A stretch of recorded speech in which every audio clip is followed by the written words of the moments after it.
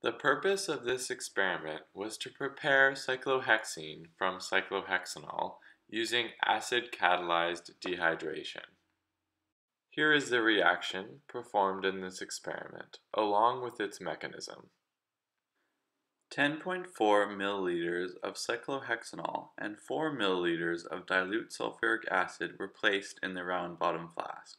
This mixture was then distilled using this apparatus making sure the vapor did not exceed 100 degrees Celsius.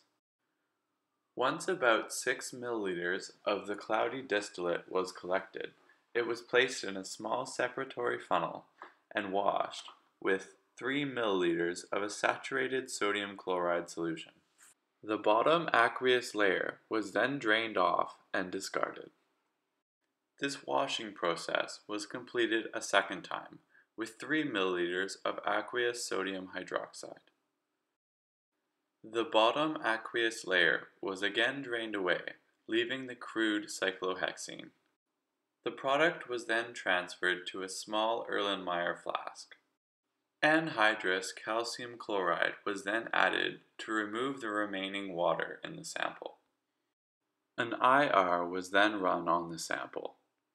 It showed that the cyclohexene had less absorbance at 3300 wave numbers compared to the cyclohexanol. This was expected due to the loss of the hydroxyl group from the original compound.